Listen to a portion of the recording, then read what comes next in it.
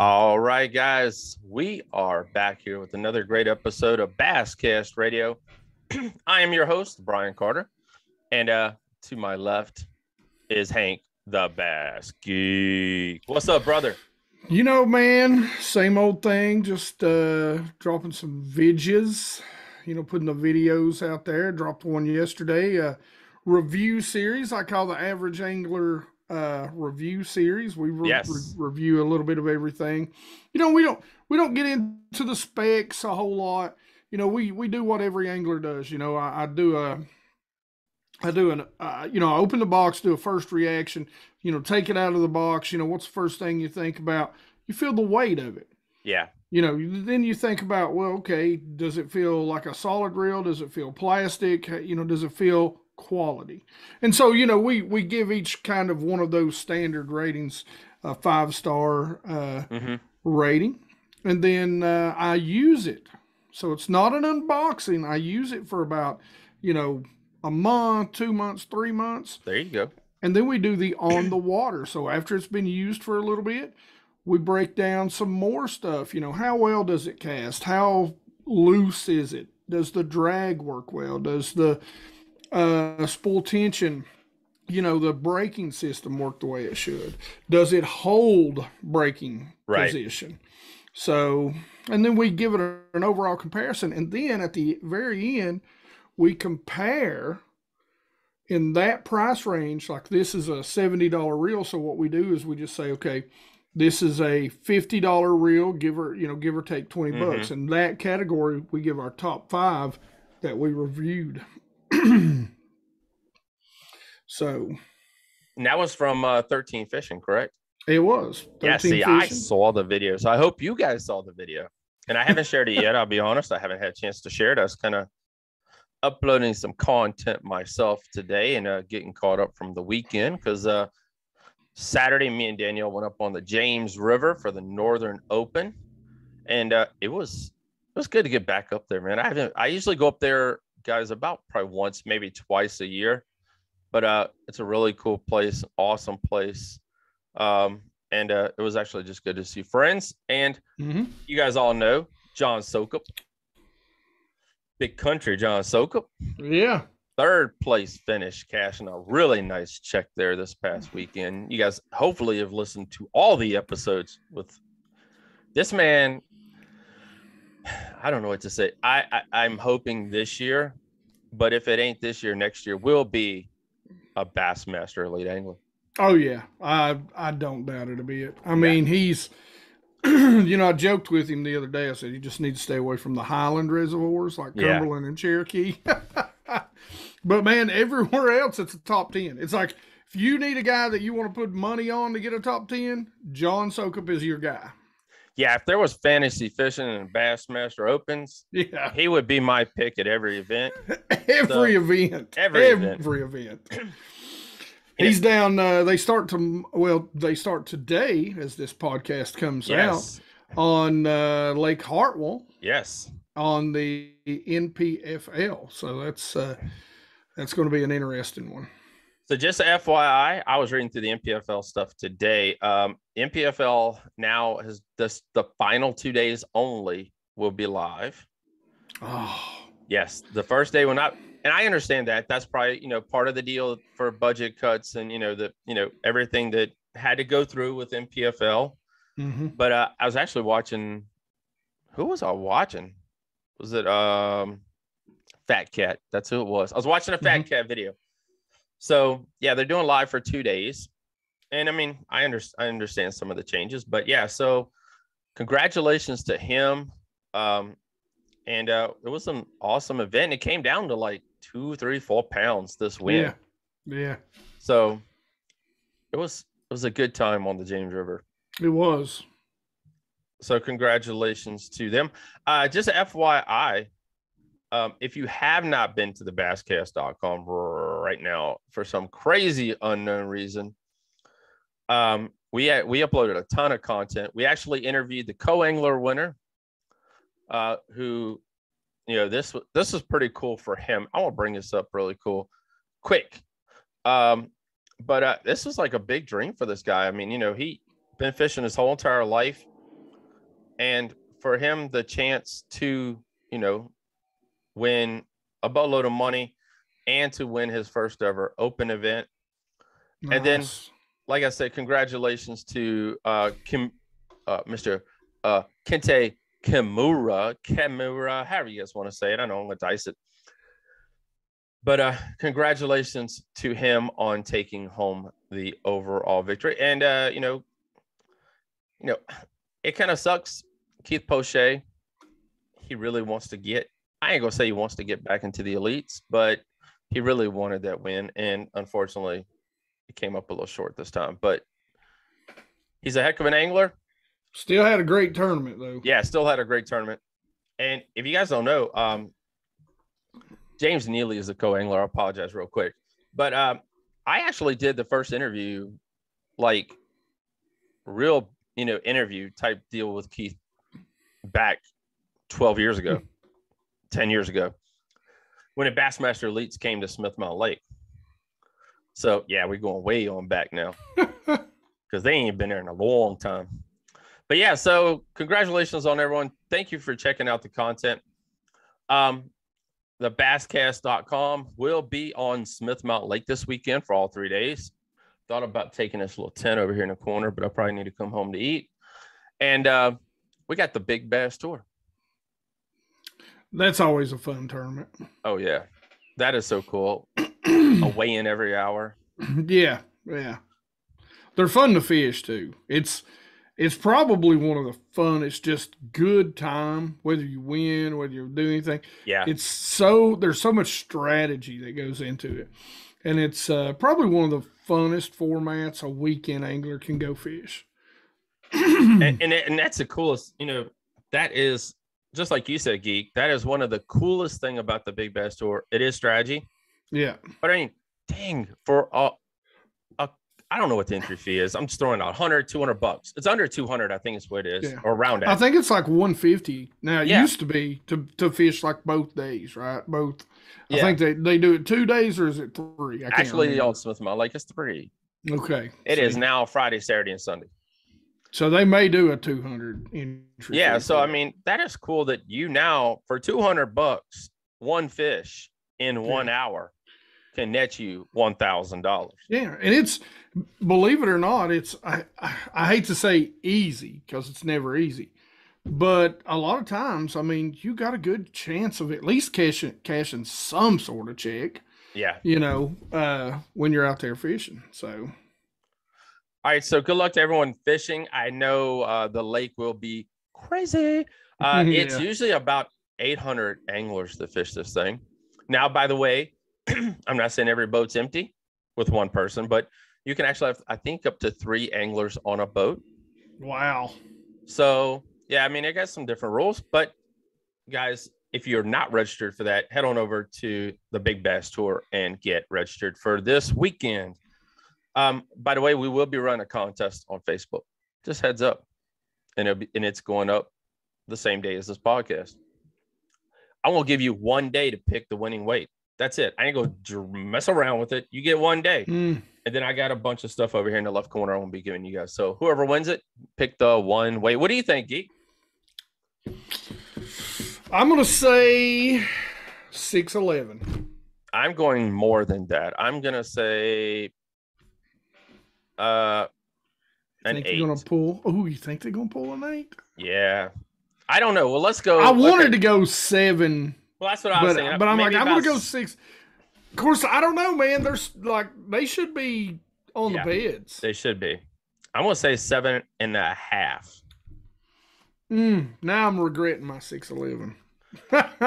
Because there has been a lot of eights pulled out of that lake in the springtime here in the last couple of years. You guys know Ben Hudson. He pulled two of them out. yeah. Uh, another guy that I work with, he pulled one out. So the eights are there. And I don't know yeah, how, I mean, the tiger bass, there's a lot, you know. I would. God, I, I still think it's going to be low sevens, seven two, seven three. Okay. So there you go. There's our pick. We're not entering. If you like to, you can, but I'm not entering. But uh, there you go. The contest will be up and you guys can go ahead and you will have uh, I'm gonna put it up to this afternoon, and you have until Friday at no, apologize. Tomorrow is Thursday already, ain't it? Yeah, thank God, because it's my Friday. Thursday's my Friday. Yeah, Thursday's my Friday too this week. Technically, if you're so you'll have to so you'll have to Today is Thursday. Yeah, today is Thursday. Gosh, I'm behind. So we're gonna give you some time to pick. Either way. So there it is. There's our picks. Um, tonight, guys, we have Mr. Drew Gregory on. Uh, if you guys who aren't following the kayak stuff, we're back doing a kayak um, podcast again. And you had a kayaker angler on your I did. Uh, he's a boater and a kayaker. He Boater just and a got into yes. just got into kayak. Uh, he's fishing kayak, some smaller kayak club tournaments. Uh, fishing with Gramps. He's a YouTuber too. So yeah, he's a good dude. I like him a lot. We've uh, become quite good friends. That's awesome. So that podcast now is up on outdoorobsessionsradio.com. You guys can head on over there and click the link and make sure you take a listen to that. And as far as I know, you're on about every podcast and network out there, except for have you done the iTunes? Yes, I'm I'm live right, on have. iTunes. That's right. He is live on iTunes. So it is across everything and iTunes. So make sure you guys head on over and take a listen. All right, guys. Like I said, we have Mr. Drew Gregory on tonight. He's going to break it all down. He won the Bass, he won his first Bassmaster Kayak Series victory on Oklahoma's Grand Lake. And we're going to be right back with Mr. Drew Gregory. All right, guys, we are back with Mr. Drew Gregory. Brother, welcome to the show. We appreciate you coming on and talking with us tonight. Uh, like I said, if you guys have not seen the post on the basscast.com, 214 of you guys have already checked it out. Uh, you won your first Bassmaster Kayak Series event, man, on Grand Lake. Yeah, pretty awesome, man. I'm excited to be here, and uh, you know, it's it's I'm exhausted. It's a long way from Northeast Ohio to, to Oklahoma, but uh, and then I've driven all the way back, and you know, done done the family stuff to kind of catch up with life with the kids and the wife and all that, and all these interviews and PR, and, and certainly not complaining. But what I'm getting to is, I'll be honest with you guys, man. I'm a little bit of a spaz, and your biggest challenge tonight will will be to keep me to 30 minutes, like you said. All right, well, But- all right. but I think you'll be able to do it. Maybe we'll see because uh, I'm I'm maybe slowed down just a little bit by all the interviews and all that. So maybe I'll be at the right speed for you guys tonight. It'll be perfect. All right, well, let- just perfect. Let's go to the first question, man. Who is Drew Gregory, man? Wow, that's a that's a loaded question there. Uh, Oh, you know, I've been doing this for a while uh, in kayak fishing, and uh, I started out. Uh, most people know me from when I was with Jackson Kayak. I was the first employee with Jackson, and developed and designed a lot of the kayaks with Jackson there. And they were my signature series models, really cool boats, and invented that the high low seats that you see in these kayaks Mhm. today. That that was the the first kayak that you ever saw that on was the Coosa from Jackson, the, our very first one. So And I almost bought a Coosa, but I didn't like one thing the scrubber holes.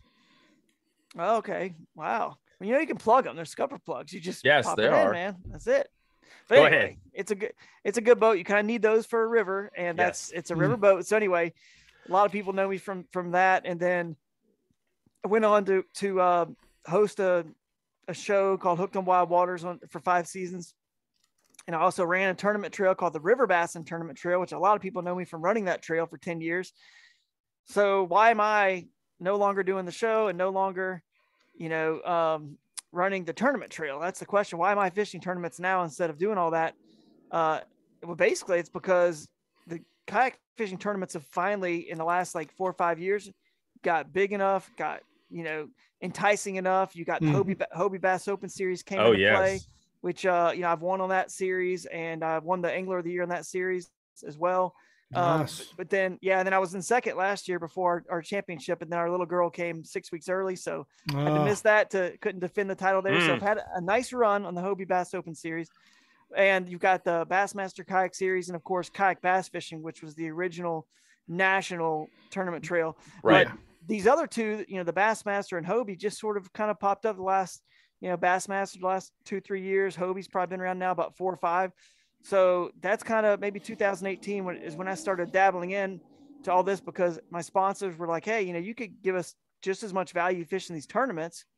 And I'd done really well. in you know, the couple that I'd fished, the, the national championships for kayak bass fishing, they said, I think you could get some good value. You're obviously, you know, very talented at, at catching them. So maybe try that if you want uh, instead of the show. And I enjoy it more, to be honest with you. It's way more fun to go out there and fish. Yeah. Without produ- Yeah. production crews around and worrying about lighting and all this stuff. Uh, and then to kind of wrap all this up, a, a lot of people know me now, not just from the tournaments, but with my affiliation with with Crescent Kayaks, which maybe you can see that up there, Crescent Kayaks. But um, Yeah. I'm designing the boats for them now. So Oh wow. I, I got a new model coming out. Uh, I can't really talk specifics, but I can tell you right now, it's uh very, very, very, very, very soon. You guys will see that new kayak drop, and people have been waiting for years uh, for this thing. It's been a couple years in the works, but trust me, it's worth the wait, and you're about to finally see it here pretty soon. So I'm excited about that. But yeah, that's Drew Gregory in, in a nutshell. But uh, other than that, family man, love God, I love others, and just love sharing my passion for, uh, you know, fishing in kayaks and rivers, which I call river bassing. There you go. Hey, so this new kayak coming out, man. Uh, I know Yeah. you can't tell us much about it, but the price range, you know, that's always a big thing for everybody. In tw- you know, now, I mean, you know, is it going to be the Mhm. fifteen hundred, or we're looking the Hobie price range? No, no, it's that fifteen hundred. It's a paddle kayak. It's in that range. Uh, it's got scupper, so I don't know if you'd want it, but, but uh, it's in that 15 1600 dollar range, and it's a great, great paddling boat. So at Crescent, we stick to, you know, paddling, you know, only. We're not really getting into anything like pedal drives and whatnot. Mhm. Right. Uh, you know, we add motors to them. I mean, people do. We don't really make any brackets and mounts, but a lot of folks out there, third party, you know, companies make mounts for them and throw your motor guide on there, throw your to- Torqeedo or whatever you got, and uh, you know, go to town. A lot of these tournament trails allow it, so you might as well have it. So, and I've got, you know, I carry four kayaks with me to every tournament of all different sizes and setups for everything, and then Oh, I wow. make make my decision at the tournament which one I'm going to be in a little 10 Hmm. foot ultralight paddling kayak or my solo skiff with a 109 pound thrust motor guide. You know, I mean, with 36 volt lithium pros batteries, just, I mean, I got, I, I got every spectrum covered. So What do you think about the introductory, you know, of the trolling motor and you know of that side of kayak fishing? You know, a lot of people, you know, got a little upset. I mean, you know, the whole thing about a kayak, you know, a whole thing about kayak fishing, I don't need the motor, the motor. I don't need the battery. I don't need to drop an extra two. Fifteen hundred to two thousand dollars if you do it right. Well, I'm just saying if you do it right. I mean, you can go to Walmart and buy a hundred and fifty dollar trolling motor and a, you know a good battery. that's right. Well, I, I mean- honestly, I'm going to, I'll tell you why I think it's really cool for the sport. And even though I didn't use a motor in this event, and matter of fact, that, you know, a lot of times I try to find places where, you know, you can't even use a motor. It's not necessary. Cause to me, I Mhm. still want that sim- simplicity, but here's why it's awesome for kayak fishing. A, when you start getting fields in that 200 and 250 and, and the kayak bass fishing national championship, we've had as much as uh, 750. Matter of fact, that this check right here is the one where I uh, got 20,000 or 20 something thousand with bonus bucks for finishing second in the kayak bass fishing national championship. Uh, because there were 750 people. When you Yeah. have that many people, okay, and you want the sport to grow, if you don't have motors, there's only so many places you can launch kayaks from Yep. you know each lake people are now going to be on top of each other even more so Yeah. I, I like the motors because they allow us to separate even further but i also like the motor because it brings more money into the turn into the tournament trails into sponsorships for anglers it brings more just more of the the commerce right into kayak fishing which is nice and it, not just the motors it brings the batteries into play more Oh yeah, brings a lot of other stuff into play, which is good for everybody. That trickles down to the anglers. What I also love about the fact that motors are involved is the fact that the Hobie Bass Open Series is chosen not to allow motors, and I think that's cool because it, it still gives us that option to not. They allow it in pre-fishing, so it's still a useful tool, but not in a tournament. So, and then on top of all that, I just like the fact that we have it as an option, but I don't ever lose lose sight of the fact that you don't have to use it. And it's not a disadvantage to not use it. I mean, I just won this tournament where I bet you everybody in the tournament, most of them, 95%, were all had motors, most likely, or, or at least pedal drive Right. kayaks. And I had a little 10 foot paddle kayak and uh, went to work and and just you know got it done. There's still places for that uh, because the bigger they get, the bigger these little kayaks get. They're mini boats, like you said. Mhm. basically. they are mini boats. They are. So that eliminates some people just or, well, all these people that have these mini boats, they have to launch from boat ramps. They can't launch at little obscure places, uh, uh, you know, off the side of the road or bridges and place, you know, other public places that you can launch. Mhm. They can't. So that leaves those kind of places open for me. Of course, now I'm on this podcast. I've won a couple tournaments doing that. I'm sure it's it's becoming increasingly popular. So I'm sort of promoting the the way that I hurt myself here a little bit. But uh, you know, Do you ever think, you know, you, good. you being in the business side of it as well, you know, Torqeedo, I see the sign behind you, you know, it's quite expensive, the Torqeedo. It is. That was we- from a sponsorship. I think KBF or somebody. I don't know. Yeah. Do we ever Yeah, see that? yeah. Do we ever see that price? Do you ever think we might see that price coming down or someone else coming into the market? I mean, I use it- motor it- guides, and they're a little bit more price uh, friendly, I think, than that that Torqeedo, and and they give you the anchor ability too, the spot lock, the Mhm. anchor, uh, which I love, and I love the bow mount because you can I can stand Yes. up and use that lanyard remote, or I can use the uh, on my solo skiff the foot foot control remote, which is nice, uh, and you just can't stand up and do that with the Torqeedo or Newport vessels. But to answer your question on that Torqeedo, Newport vessels is sort of, uh, I mean, it's just basically a knockoff of the Torqeedo, and it's a uh, less expensive product. I don't know quite the price, but I know um, it's cheaper. There you go. Hmm. That's awesome. Yeah, because I mean, like I said, you know, it was pretty cool. You were talking about the Hobie Open series, and I was actually watching. They did a live the other night, uh, and they were talking about their next event, and their events are selling out fast. Oh yeah, I mean, we're talking about within hours, oh their yeah, event sells out. minutes. I mean, Yes, six, it's- it six minutes to fill out the Susquehanna. I actually was pre-fishing for this tournament on uh, Grand Lake on Friday when it opened at noon Eastern time, and I was. I was at a spot up up kind of one of the rivers on Grand Lake, and I had to literally get out of my kayak, go on the, the bank to this bluff, hike up the bluff with 15 minutes till you know 11 o'clock Central Time, and just sit there and wait and just hope I had enough signal. I had you know fortunately I was able to get two bars at the top of that bluff. I had no signal in the river, and just sit there. And right when it hit you know you know 11 o'clock my time, I'm just register, and then I was. I mean, already like 60. I registered in a minute and I was already 60 or 70th registered in it. Holy cow. So Filled up that and- that tells all you guys out there how you know how big this whole entire thing has gotten, and I like you know I'll be honest I fish out of Wilderness Systems Ride 115. Uh, I paddle. I have I do have a battery that's supposed to go on my kayak eventually. Eventually is the word.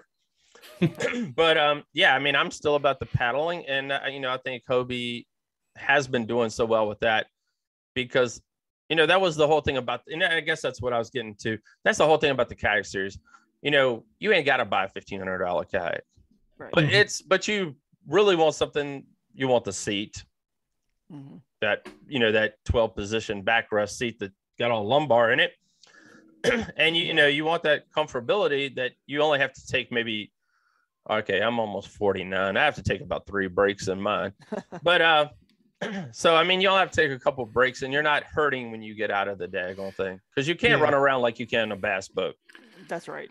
Yeah. I'm a big guy, so I got to stand up and get the blood flowing to the booty again, you know. You do, man. I'm starting Yeah. to get at that age too, where I need to take a little break from sitting down so long. It, it does, it does hurt. You got to get out, stretch the legs, and, and just sort of refresh a little bit. But Yeah. fortunately, I was able to do it in this tournament uh, at a moment where I'd, I'd milked my little pocket, my spawning pocket I'd found, and I'd, I'd made so many laps through there. I said, you know what? These fish need a break anyway. If I'm going to catch any more out of it, so this is a perfect time to get up, get a little food, There you go. stretch the legs, and man, that felt good. It felt good knowing I already had a, a nice, nice bag there on the, on the phone. So so guys for $1500 a milk crate and a rod holder now the rod holders I, I would buy those i didn't buy i didn't cut my tube in but i went to target and bought a milk crate i mean i want to be honest i mean and a Mhm. few rods hey you can fish a kayak tournament Oh Mhm. yeah, for sure. I mean, dude, you could do it out of a two hundred dollar Walmart kayak. I mean, this this Crescent Ultralight I was fishing out of is uh, it's under a thousand dollars. It's around, you know, eight nine hundred bucks, made in the USA, good good quality product. Um, you know, so and then the, we've got other models that are just around a thousand, a little bit, a little bit over a thousand. It's not expensive at all, really, Right. uh, considering the the prices of you know bass boats and other Mm. other boats these days. So yes what is it about $60000 for a ranger right now Let's you talk better more. keep going, yeah, buddy. probably more. You Yeah. better Yeah, keep going. and that's the base model so A if you want uh, if you want everything loaded i've i've heard they're like 75 to 80000 now, right if now you're talking about a, Yeah. a legitimate 20 to 21 foot Ranger, a base model A base model is probably going to cost you 72 to 75. God. Probably, maybe even 76, 78. Oh man, I'd be in a, an express or something like that, aluminum rig, if I was fishing uh any of the open. opens. they ain't no NPFL. cheaper. They ain't no cheaper. Thirty-five thousand dollars yeah, for the express boat yeah, that I'm 60.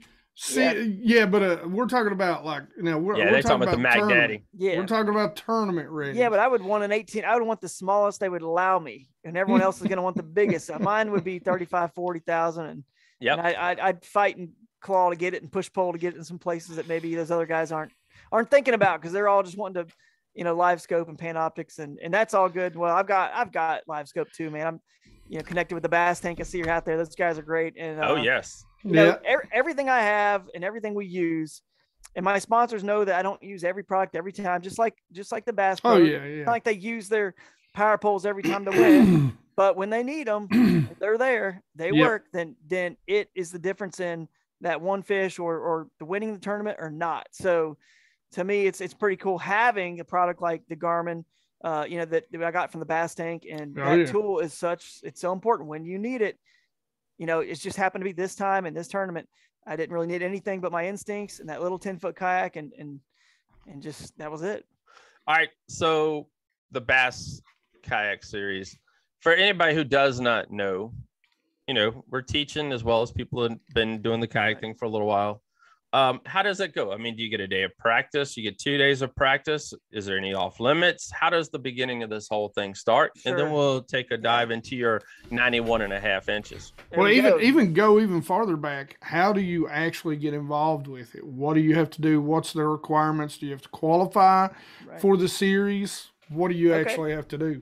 No, good good question. Um, and this is great. We're teaching people here. So Bassmaster is pretty easy. Uh, I mean, they're all easy, really. But if you go on Bassmaster.com, you can click on tournaments and click on kayak. Everything will be listed there: college, high school, opens. It'll all be there. Elites. You just click on kayak, and then you'll see the information, the info sheets for each tournament. You can click on uh, register to register for them. Uh, the rules are there, so you can kind of read over the rules. And you know, getting into the rules, like you said, there is this year this the Bassmaster Kayak Series is the first to ever enforce an off limits period, which I love. I Oh. mean, Hmm. love it. And I'll explain why I love it. But but they're off limits right now. It's, it's just kind of a small off limits, but it still kind of accomplishes uh, a goal. But what it is, it's it's the Saturday before the tournament Saturday, if that makes sense, a week before Mm-hmm. the, the lake goes off limits until Tuesday, until Wednesday. Sorry. So Saturday, Sunday, Monday, Tuesday, it's off limits. So it's hard for someone to camp there for two weeks because who wants to go drive somewhere that might be, who knows how far, 5, 10, 15 hours away from home Yeah. and have to kill four days with sitting there twiddling their thumbs. Well, so basically everyone kind of shows up on most people, I'm sure, show up and get all two and a half days of their practice, which is Wednesday, Thursday, and Friday until 2 p.m. Uh, but I show up on, you know, usually like Tuesday at some point and kind of get situated into my uh, Airbnb and, and unloaded and organized and maybe even drive around a little bit and kind of scout some spots in the lake. But uh, that's how the off limits period works for Bassmaster. And I like that a lot. Uh, so, and then let's see, I get in, uh, fish, you know, and I, if you want, I can go over real quick how I pre-fish. I mean, how I pre-fish the Oh yeah. tournament. Yeah, go for it, walk you brother. through it. Yeah. So I'm a little different than than some people. Um, now in the bass boat world, a lot of guys are graphers. They'll go and just graph. Uh, I do that in a different way. I because they want to find what's the water temperature in this cove. What does it look like over here? They run different places and then they graph and graph. And they all they're doing is gathering information on the Mhm. fishery as a whole. That's all they're doing. They're looking for birds on the bank or in, out in the middle, whatever. They're looking for bait fish on the graph. They're just just getting information, temperature, current, clarity, everything. I do the same similar thing, but in my Toyota Tacoma. I'm in my, my truck. I'm driving around. I got a little kitchen digital thermometer. I should have brought it to show you guys. It just I stick it in the water. I check out some places. I put my little ultralight 10 foot crescent kayak in the back. But my goal is kind of not really that first day to not even put it in because mm-hmm. if you put it in, you end up fishing and you fish Yeah. more than you expect, and you never never really want to get out. And Right. if you do that, you don't cover the whole lake and as much of the lake as you probably need to to really then take all of my experience and everything that got up here to make a good decision on the night before the tournament on where to go and on tournament day how to fish the moment effectively with a game plan. So I kind of do that drive around and, and check the whole lay the land out. I want to see. I like fishing a lot of rivers and creeks, but people know me as you know guy that river basses. Even though Mhm. pretty cool, I think that I I won this one on the lake, not in a river or creek. But uh, I like to drive and check all those places out. Any little spots that maybe my kayak can access that other bigger kayaks can't. And then uh, I look at the vegetation, the structure. Is there wood? Is there lily pads, eel grass, whatever I can see? Just kind of because it might be in one part of the lake that you can see from the shore, you know, just hopping out of, of my truck and not in, in others. And you can kind of get kind of get a feel for it that way, you know, um, rock, whatever there is in the habitat. And then it kind of helps me figure out where do I want to go um, before uh, maybe even before we started recording. You were talking about you're a muddy water guy. Yeah. I prefer to find some stain as well and fish moving baits, uh, chatter baits, spinner baits, buzz baits, swim baits, stuff like that. So now that I've seen the whole lake, I can finally make an accurate decision. Where is the best place to fish that way? So on the second day of pre-fishing, I go to you know spot A, you know, and then hopefully hit at least three or four of them that day. Don't, and I try to discipline myself to get out of the water and don't spend too much time there. It's easy if I catch a big fish because then I can get out and just I can quit. Oh hey, Right, right. I want to beat them up. A lot of times, you know, I got to give myself a limit because if you're not catching them after so long, you just need to pull the plug and move. Um, so basically, that's what I do. And then on the last two days of pre-fishing, I cover as much of that water as I can. And then, then of course, Friday night, you're sitting there looking at the map, Google Google Earth Pro, and, Mhm. looking. You're like, well, you know, I got all my pins marked, that all my waypoints that I'd previously already found on the map before I got there. Which you know, hopefully people following along know to at least do that. Go to get, Oh, get- yes. Google Earth Pro, drop your waypoints. That's how I'm going to all these places. So then I kind of look and say, all right, man, like this is where I feel like I can get the biggest bite, or this is where I feel like other people may have found this. So maybe I should go there first because it's probably going to get hit at some point during the day. Mhm. And then I usually have a game plan on, uh, I give myself an out. You know, my brother, I'll never forget this. He used to drive a big semi truck, and he said, you know, they always teach you to every second, and this is for anybody driving. If something were to happen, you know, if everything were to hit the fan, where are you going to go? Right. And that's kind of what I always have a game plan. Like I got a plan A. I hope I'm there all day long. I hope I never have to pull the kayak out of the, the river or lake or creek and move to plan B. But if I do, I want to have that plan in place. And so that's what I have for this tournament. I had three spots and uh, I went to the first one and, and never, never pulled back out. So it's just, it's just different every tournament. I've, I've moved as many times as five or six up at La Crosse, Wisconsin. And uh, today or today, this, this tournament just didn't have to. So on Grand Lake, man, what was what was particular about the spot you found? it was really cool because it's a it was a spawning pocket uh, off a main lake uh, cove and then there's a spawning pocket right which is like no surprise right? No the water's surprise. about 60 degrees in there and high 50 60 degrees and uh, they're getting ready to do their thing but there's a couple unique things about it. So if you guys in your head if you're listening to this on uh, podcast you can kind of visualize but the spawning pocket the north bank right? There's a north bank there's a, a west bank a east bank.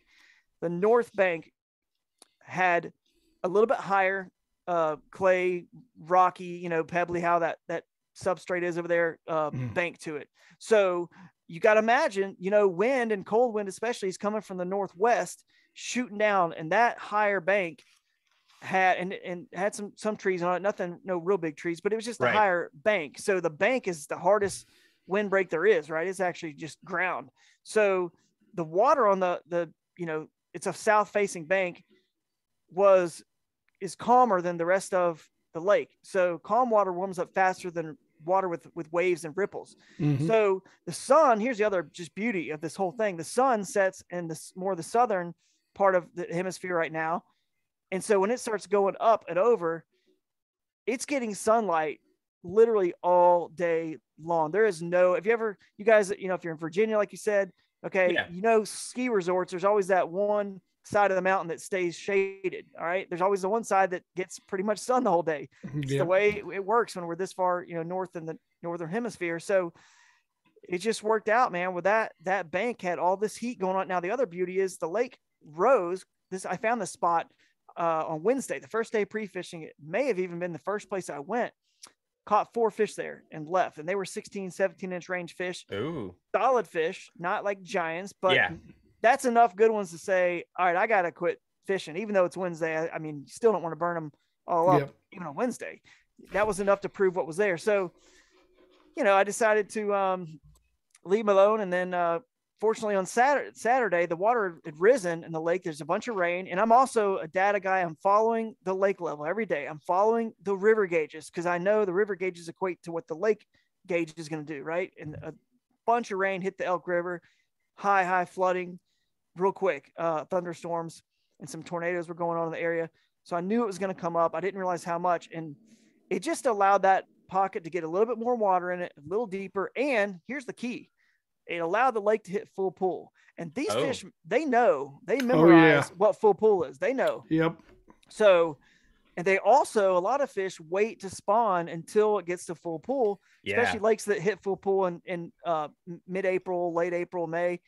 They'll, a, a group of them will wait because they there's a spot they want to do it on that's dry. You know what I mean? And they kind of are like salmon, s- some bass. I know they are. They go back to the same areas to spawn, and so the water coming up uh, and allowed more fish to get in there. But what was unique was on the pre-fishing, I was catching them on spinner baits and they weren't right on the bank or anything. They were, and again, remember the water's like almost a Yeah. foot lower. So you don't have, I mean, there's hardly any little buck brush and structure and tree trunks, you know, roots and stuff in this little pocket, but there's some. But on Wednesday, they weren't really touching the water because the lake hadn't come up another almost Right. foot.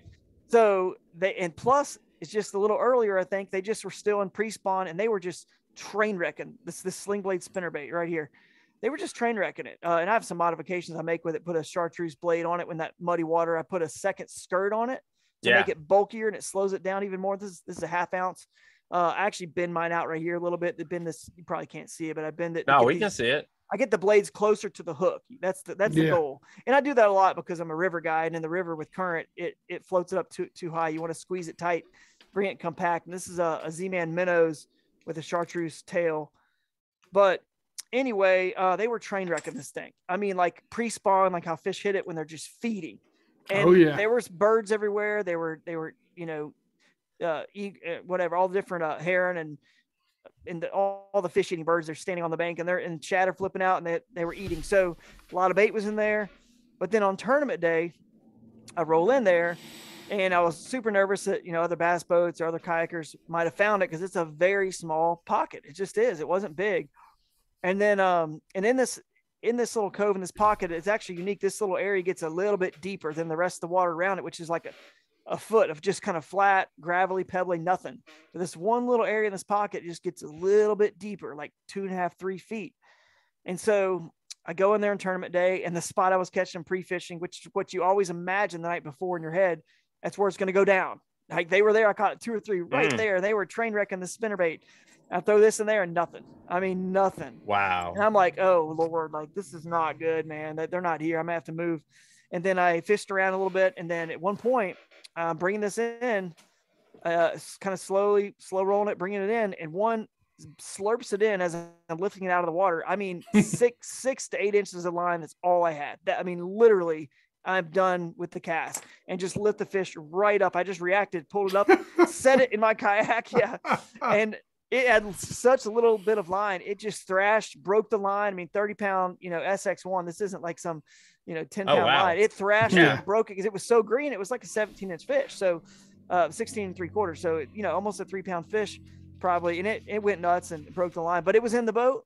But it, it told me something. I said, man, that was a really weird sluggish. I got just saw it, you know, I got it on my GoPro and I've rewatched it. It's just such a cool, just slowly slurp. And uh, so then my next fish, I worked my way around in some of the hot spots of pre-fishing. I caught them, didn't catch them. Uh, worked my way around, and another fish does the exact same thing. This time, like five, six feet of line out, not much. And I see it just slowly kind of. I'm like, man, they are just not eating the same way. So I decided to um, let the, the spot rest and work out of there a little bit. I caught a couple more. I had four fish, and then um, one point decided to, you know, I just need to mix it up and figure out where. I know they had to be there. They had they had to still be in the area, but where did they go? Right. hmm So I switched to a, a jig. I picked up a jig rod, um, and then it's the the Z-Man CrossEyeZ jig, and uh, you guys can see that there probably. Yes. But um, I picked this sucker up, a three eighths ounce, and I put this the Pro Crawls on the back, which is a big, thick, you know, pretty good size. And because the, the water's murky, you want a big presentation, a lot of water displacement. Yep. Let them feel it. Uh, and then I picked that jig up, and there was a tree. You know, you've seen these trees where they're like willow trees, but they got lots of branches coming off, lots of kind of trunks coming off Right. in the water, and a beaver kind of chopped down all of them right near the water line. So you couldn't That's f- funny. fish it effectively with a, a spinnerbait or a chatterbait, which I love to do. So I just picked this up, and uh, I had it rigged up on like a seven foot four heavy action, um, 13 fishing rod with uh, about 17 pound sunline sniper and uh, fluorocarbon. So then I just threw it in there. And uh, in that tree, I wanted to just work that tree. It just looked like such a unique tree. I was like, there's got to be, if there's going to be one that's not in my real primary area and it's just outside of it, it's got to be one here. I flipped it in and then thump, and it starts just swimming off. And I laid into an 18 and an 18 and a quarter, real fat, nice, you know, four pound, four pound fish. And uh, I said, wow, okay, there's something to this. So then I went back into my primary zone after letting it rest with a different bait, with the jig, and then uh, I got I lost a, a three pound fish. I skipped it underneath some buckbrush because the water had risen enough where even though the roots of this in the trunks, if you will, this buckbrush was only in about eight to ten inches of water. You know, I skipped underneath there, and this fish picked it up and took off. I set the hook, another three pound, 17, 18 inch class fish. Boat flipped her right in. Now, this is a funny story. She spits the jig oh, right Oh wow. right when she flops in the boat. So now she's as green as can be, man. And I cover up on this thing like a loose, like a loose fum- fumble, you know.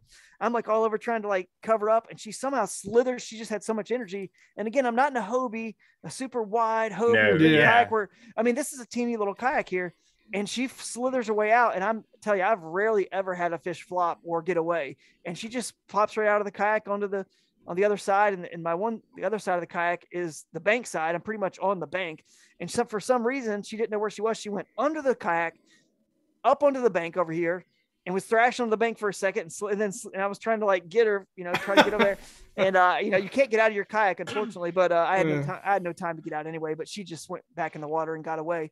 But it told me, hey, you know, there's there's big fish still here. They're hitting the jig really good. Now I'm going to work this real hard with the jig. And if it wasn't 10 minutes later, I caught a 18 and a quarter on the jig. Oh wow. And, and then now I've got, you know, uh, those two first ones that slow slowly bit the spinner bait that were 16 and three quarters. I got the 18 and a quarter that I caught uh, on that jig, and now I've got this 18 and a quarter that I caught on jig. So I got four really good fish, and I know that I need 90 inches to win this tournament. That was my goal because I looked at the weights in the weight tournaments, 20 to 23 pounds were winning, Mhm. uh, and that was with 300 boat field. So I mean, come on, this is we don't have 300 boats. So if I can get to 90 inches, which uh, 95 inches is is about 20 pounds, but I I thought 90 inches is what I needed because in pre-fishing I saw stocky and fat they were. They're actually short and stocky. So I Hmm. realized on Grand Lake and pre-spawn these fish 20 pounds is actually 90 inches, not 95. So I knew. So anyway, I knew I was getting. If I had one more good bite, I get. I'd be getting close to 90. So um, I kept moving and, and down the bank with that jig. And the key is to kind of pitch real slow, and and and not. I mean, just kind of make a slow presentation, 10, 15, 20 feet. Not what I'm known for is making long casts parallel to the Yeah. bank right. that I'm parallel with my kayak because a bass boat couldn't get as shallow as I could get in that kayak. And they were just in a foot of water right on the bank, right in that, that steeper Wow. bank, the, the south facing bank I was telling you about that had all the wind protection. Yeah. Mhm. They were there. They were right underneath those roots, kind of like you, you would think somebody noodling catfish underneath some roots. And these aren't big trees and aren't big roots, but you could see them swirl and they came out there. And I think they were spawning right there. And, and, and they were definitely getting their beds ready because any males I would catch would have tattered fins. But they, I, I really, I really believe these fish. It's weird, but they spawn a little bit in the undercuts, which you would Mhm. think, well, why is that? But the sun's still coming in at that angle from yeah. the south where there is no shade from the undercut, even though it's an undercut. It's still getting great sunlight, and they spawn super shallow over there because they need that sunlight penetration. So I wasn't Mhm. afraid once I realized how shallow that first that that fish that, that got off. Like I said, eight inches of water, ten inches maybe. And then I said, man, there's no telling how shallow these fish can get here. And that's when I went real shallow, parallel, put my boat on the bank, made short flips because in that, especially in that hot zone, and I think maybe Ott Defoe said this in the last MLF tournament I watched, uh, the heavy hitters, he actually ended up winning it. Yeah. Yeah. He said, You'd be shocked at how little I've moved today compared to what he normally does to catch. He's like, So many fish are just in this area. And as the water rose, more fish kind of kept moving in, uh, you know, from Wednesday to Saturday. More fish were there than I realized. and the short pitches were super critical because if you make that long cast, like like I said, I'm known for covering a lot of water, a lot of bank, parallel those banks and that structure where the it's the high percentage areas. You know, we all know Yeah. that. If you did that, you catch a fish and you're going to be fighting it through all the other beds and all the other fish. Wow. So you so to really milk Spooking this little teeny area that I would call just a couple acres, a little pocket, exactly, you would spook them. So I had to go real slow, methodically, pick it apart. You feel that thump, hammer them hard as you can, get them in the boat, and move on. And then uh, at one point, man, I just I did a, another little trick to get to milk it even more. I let it rest again for a little while, came back. Um, and fish it from the other direction, kind of around that Mhm. pocket, which allowed me to do backhanded. I'm a left-handed fisherman, so I actually prefer to fish where the bank's on my right side, so I can skip cast stuff underneath trees. But going back the other direction now, I'm, I'm backhand flipping. It's a little softer presentation. It's you know obviously I'm not casting very far, so a little backhand flip is great. But it allowed me to get some angles into some of those trees and different roots and things that I could not get from the other Right. way Right. And uh, I caught a, a 20 and a quarter, which my big fish, and got rid of that that 15 incher. I had a smaller one, and then now I had like you know almost 90. Ended up catching another 17, another 17 and a quarter, uh, or 17 and three quarters at the very end to get up to 91 and a half, and that's sort of uh that's the deal. That's how it all went down, man. It was crazy. All right. Like I said, guys, 91 and a half inches, what you finished with, taking home $3,400.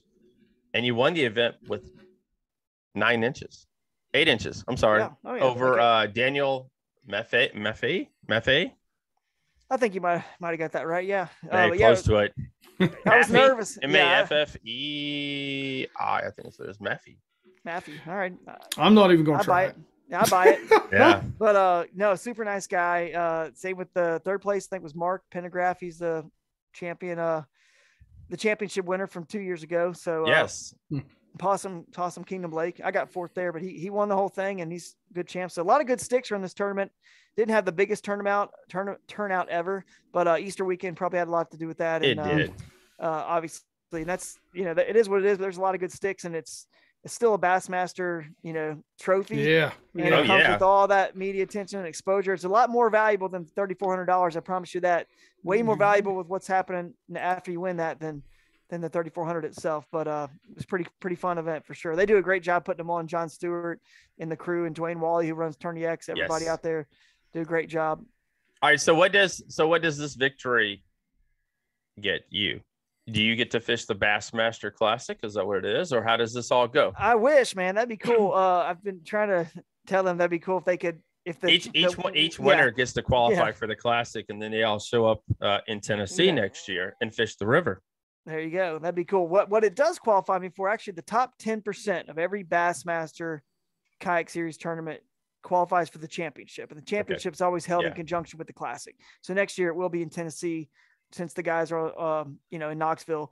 But what it also That's what I, don't- meant to say. Championships a classic, yeah, yeah, yeah. right, right. And but I'd already qualified for that championship from the first Bassmaster uh, event that I fished, which was the Harris Chain. I got Okay. seventh place there, and I, I was fortunate to be the last man in. I was a top ten percent finish Mm. there, so I, I already had kind of ticked that box off.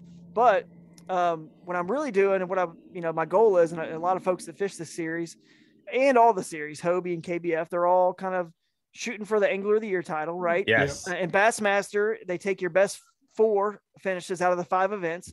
Now you don't have to fish all five. As a matter of fact, I missed Lake Fork because my little daughter was born and she was Right. a couple couple months Mhm. old, and I want to you know stay here and not not leave my wife alone with a, a four year old and a uh, you know two month old and three, Yeah. three dogs. So I made that uh, smart business decision there, and then I was okay. I'm, gonna, I'm gonna fish all four of the next uh, Bassmasters and uh, make a run for this AOY because even if I don't win the AOY or I'm not in contention, they go by the AOY standings to qualify for the championship after they take, you know, the top 10% from each of those uh, events. yeah, You can have a good finish and not be in the top 10%. You could be 11 or 15%. right. You know, you do that over and over and you're going to be in the top, whatever. I don't know how many people they still take, maybe another 50 or 100 that Mhm. qualify for the championship through the AOY points. So it was very important to fish enough. But now that I got seventh in the first one and first in this one, it's obvious, you know. So you double rolling. qualify. I did double qualify, which helped maybe somebody get in at Grand Lake that wouldn't have got in. So Yes. That's it always feels good. You get to help somebody else make it to the championship. That that's way. what helped a lot of Bassmaster Elite anglers get back into Bassmaster this past year, and there's a lot of a lot of that stuff happened Oh this yeah, past year. Scott, so Scott Martin was saying some, some prayers. I know, and he yes, they were they were answered. They were answered. But um, oh, and one little thing I was going to tell you guys, I forgot to mention on the jig, just just a little bit of juice on for anyone who throws Z-Man uh, baits. The ElaZtech is uh is buoyant, so it floats. So this is a thick chunk of mass. This uh TRD CrawZ. Uh, well, it's not TRD, it's the Pro Crawl. Sorry, TRD CrawZ is the smaller one. But here's what's crazy. This is uh I was throwing a, a three eighths ounce jig, but you don't want to really throw a three eighths or, or a half ounce or something like that when you're fishing a foot, foot and a half of water. You don't. I was saying it's it pretty heavy. It's heavy. So, but what the beauty is, uh, we don't make a quarter ounce in the uh, the flipping jig. This this CrossEyeZ flipping jig. They make it in the in the the power finesse flipping jig, uh, but not in this one. I wanted the bigger bulk. So what happens is when you put a big chunk of ElaZtech that's buoyant like that, it makes this thing fish like a quarter ounce. It takes Mhm. it down a, a whole hat, a whole quarter. Every big chunk you put on there with your chatterbait trailers, so a five inch diesel minnow or a six inch swimmers is going to make it a fish a quarter ounce lighter. Uh, likewise, if you put just a minnows, like a small minnows, like it was on a spinner bait, or a straight tailed, like a streaks 3.75 or a streaks, you know, they're, they're thinner stuff, uh, razor chat, whatever. Like some of the thinner stuff that did, does not have a boot tail will make it fall faster. So Right. you can always adjust your bait with the Z-Man ElaZtech plastic the way you want it to retrieve, which the fall is super critical for a jig. You want it that slow, natural fall, Mhm. not just Mhm. so that was a key. And, and I just had to mention that uh, it's a little bit of extra juice because the, the beauty is on a bait caster, you want heavy bait, but I got the heavy bait and I get the presentation of a quarter ounce. Actually, if you think about it, this is, it throws heavier than a three eighths because this is still weight. Even though it floats, it's weight. It's throwing like a half ounce probably, but the presentation is like a quarter ounce, which is just genius that it floats like that. And you can keep adjusting and, and working things like that. So a little extra tip for those out there looking to fine There tune. you guys go. Yep. All right, Drew. I've got one final question. Uh, geek. I mean, he's asked. He's answered about everything I can think. I of. know. That's. Uh, I was like, well, I don't have to. It's like he's he's he's, he's My job's easy. I can go home and drink beer. All right. he has manually recorded this thing, so it's in his Yeah. brain. That's right. Um, my question. We always ask this question to everybody. What was your biggest takeaway from this event? What was something that you learned, or you know, or something that you learned that you don't want to ever do again? Yeah, that's a good one. My, I think my biggest takeaway was just to just how important it is to to I mean really rely on your intuition and experience. I mean, I've done this a lot in tournaments, and I don't know why. I think everyone's still nervous to go into a tournament without a real Oh, yeah. firm game plan. They just want to know they got a, a waypoint with a, school of 30 fish. They're just going to bite right away. But yeah. but not to be concerned and just just trust that man dude you've done this long enough follow your instincts because you've gathered enough data pre-fishing that you Yes. just got to believe in yourself during the tournament because you gather that data you're going to make the best decision to at least give you the highest percentage odds to be successful it doesn't obviously always work out but you just to trust it because dude they moved from pre-fishing even though they were still in that area Mhm. they weren't biting the same way and i was very nervous and i just i just need to trust that that, that fish in, in a four day span or even a day one or two day span they will just change on you man. They will move do not stay stick around all the time the way we want them to. And No. just, just know that you can as long as you're kind of in that zone just trust your instincts man your experience and just fish the moment. Uh, it's, it's the best phrase that's obviously commonly used but that's that's all you can do in tournament day. Not not stress too much if it's not you know happening right away because they're still there. They didn't swim five miles away or anything. No. All right. What's what's uh you got a question, Keith? No, man, he's covered everything. I mean, he's covered everything. What's next, Drew? What's next for you, brother? Where are you going next? oh man well next for me is actually uh still in the bassmaster series uh Mhm. smith lewis smith lake in alabama and that'll be the third you know when i fish so i'm excited about that and then after that i, I kind of start getting back into some of the other series kayak bass fishing and hobie i'll be at um, at hobie on the susquehanna river i'll be at hobie on uh, lake winnipesaukee in the northeast i'll be uh, wolf and fox river lake dardanelle and hobie I'll, I'll fish all the rest of those and lake champlain with kayak bass fishing and maybe lake erie lake st clair tournament as well so yeah that's kind of what's in what's uh, right, on deck here Where can they follow you, man? Where can they find you if they want to follow you along on this journey in 20 22. Yeah, you guys can follow along. I mean, my social stuff's pretty easy. Um, it's just Drew Gregory Fishing, pretty much everywhere, YouTube and Instagram and my Facebook page. If you guys want to follow along, I actually got a podcast called the River Bassin Podcast. I only do it like once a month, go live once a month and do it. Mm, Um, but I'm we trying got to a we got a home for that if you want to Yeah. drop it. I can tell you that right now. There you go. Nice. Well, I mean, that you guys check it out. It's pretty cool. Uh, we talk, you know, about river fishing mostly. Obviously, uh, that's what that's what I'm known for. So go, you guys go uh, subscribe to that if you're interested in that stuff, and and that's pretty much it. I mean, just just follow me there, and just big thanks to you know, Bassmaster for, put, for putting on a great event, and all my sponsors. You know, you guys will if you follow me, you'll kind of see who they are and whatever. But definitely want to give a shout out to everybody. Uh, they know who they are, and they definitely uh, helped me be successful in the water. Couldn't do it without them. All right, guys, you hear it right here. Drew Gregory, like I said, make sure you are following him in 2022. Brother, man, we appreciate you coming on. Thank you for talking to us. And uh, guys, we're going to take a quick break and we're going to be right back. All right, guys, man, what an awesome show. Um, man, what an awesome tournament. And uh, uh, it's you never know what to say. I mean, we've been sitting here talking for like the last after, I guess you can kind of say after the party, after the show, show party. After, yeah, there you go. After show parties and conversations. yeah, because I actually, I, I actually closed my computer because I was like, all right, what the heck? Because He's like, you're like, shut up, Bass Geek. You never talked through the whole show, and now you started. I didn't have to talk. He just let it rip, man. That's he did, that's man. What we You know, like. gosh, congratulations to Drew Gregory. Like I said again, Congrats. you know, um, this dude, I mean, it's pretty cool when you guys heard at the beginning of the show how his, and it's that's another show in itself, but how his sponsor said, We think we will stick with you, we will still sponsor you, we'll still back you, pay you, whatever they're doing Mhm. if you give up YouTube, if you give up TV, if you give up all stuff and just go fishing. And that's, you know, and especially, That's you know, very unusual in today's world. yes, because everybody's about the views, the clicks, Yep. the hits. I mean, even us, I ain't gonna lie, we all want to Yep. grow, and that's, you know, Yep. it pays the bills and, you know, hopefully one day gets us all of a, out of a nine to five and Yep. where I can wake up and seven thirty in the morning and I can start start posting content and recording podcasts and dropping podcasts and bringing more podcasts and you know that's the ultimate goal behind all of it. So I mean, Me, I can congratulations! get up at three thirty and four o'clock in the morning and drive to a lake and fish all day. There you go. so congratulations to him on his success. Um, another young man and Mhm. uh, good luck to him. And uh, we appreciate him coming on. Uh, it's our second podcast show, um, and of this year.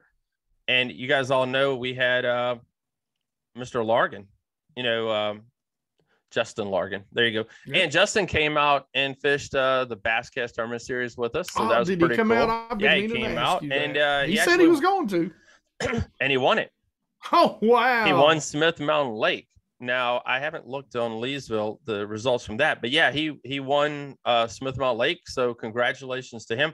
And that's right, he didn't come out to Smith Mountain Lake because he probably fished this last Bassmaster event. Yep. So we've had both bass, you know, tourney winners on Basscast Radio, and we appreciate them coming on and talking with us. So that's it for me, guys. Um, we hope you all have a great week, a great weekend. Um, it's supposed to warm up right here where I'm at. Um, and Oh, actually, yeah. I checked the weather a little while ago, and since we've started, the temperature's risen here in Central Mhm. Virginia. So it's going up, and I think it's supposed to be like 90 degrees this weekend. It was uh seventy-two or seventy-four. What was it I told you when I first? 74. It's Yeah. 64 here. Is about 10 degree difference. So Well, you know, yesterday for us was cold, so maybe it's slowly getting to you. I had frost this morning on a windshield. It snowed this morning. s- Spit some snow on me this morning, Mm. but it's warmed up. We're supposed to be in the 80s Yeah. all weekend, the Awesome. high 80s. So Yes. those bass are coming to make sweet love, and I'm going to stab them in the face with some hooks. Sorry to interrupt. Oh, All right. That's awesome. That's too funny. All right. Well, guys, we appreciate you watching, listening, however you do it.